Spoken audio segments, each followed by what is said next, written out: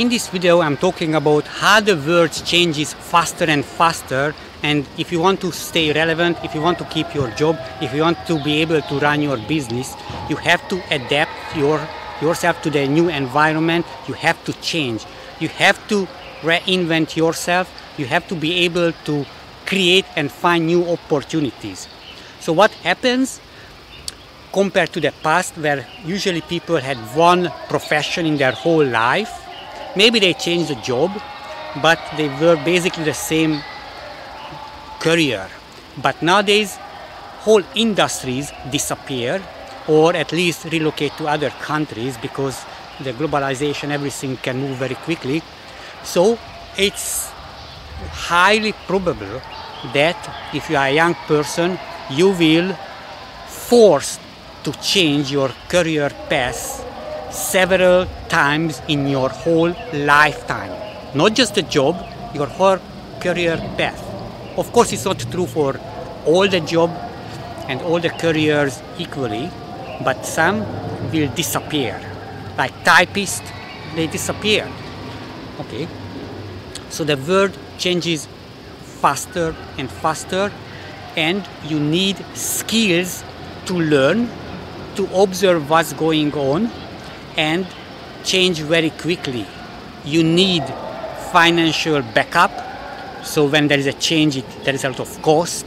You need to be able to emotionally manage the change because it's painful. We don't want to change, but we are forced to change.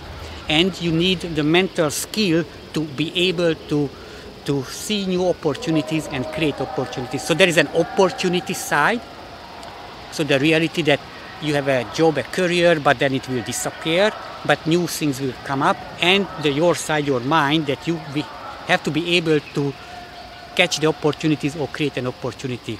So what will happen in the future that the world is very interconnected and information comes very quickly so there will be a lot of new chances to create a business or go into very specific uh, career path there will be more and more opportunity.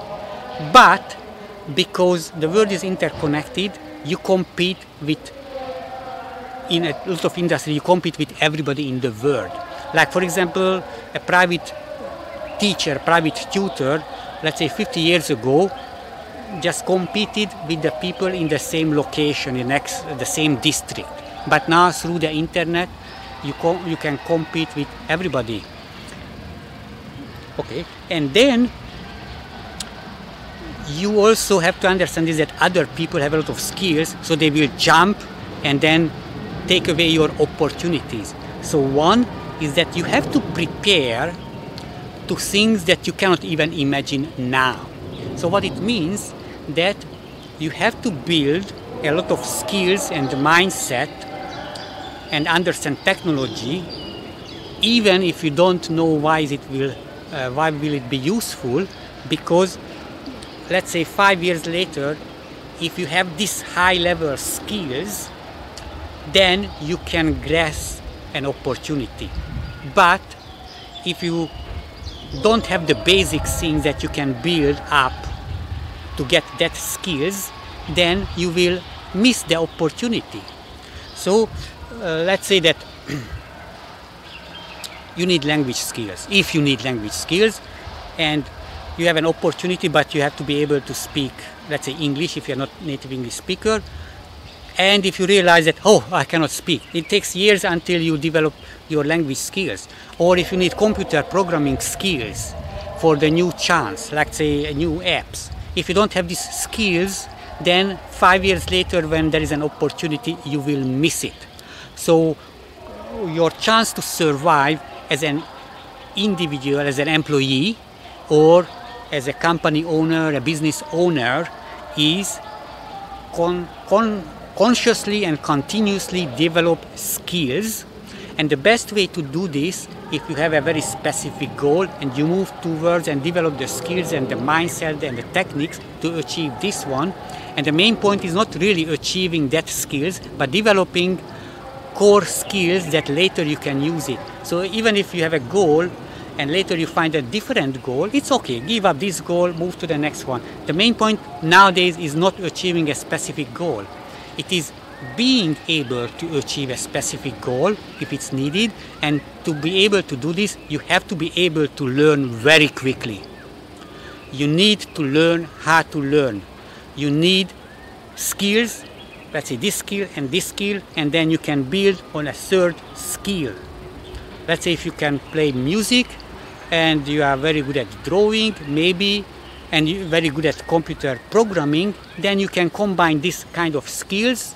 You can find a job that needs these specialized skills or you can start a business. But if one of them is missing you cannot do this because other people they will be faster. They don't need months and years to develop that knowledge and skills that needed to very quickly grasp the opportunity. So the only way to be able to survive in a long term and for more and more domain in business and career is constant sales development. Even if you don't have a very specific goal that you believe at least try to create one let's say learn programming skills learn it depends on your on your main domain maybe you are a biologist then develop more and more related skills, not just the core skills. Because what happens that today, let's say this is the traditional uh, domain of knowledge and this, and what will happen, there will be a more specialized knowledge that requires both. So if we have two, three, four, five deep knowledge in very different areas, then maybe you will have a monopoly or not too many competitors in the whole world that can do this making computer programs and uh, being very good at biology and being a great musician. Maybe there is a common intersection and if you can master this you will see as an expert in three fields what you can do. So maybe you will create opportunities for yourself for a new business idea.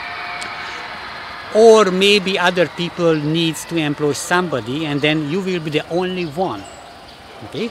So always learn and develop yourself because the world is changing and if you want to survive in the market, do this, don't wait when it's too late.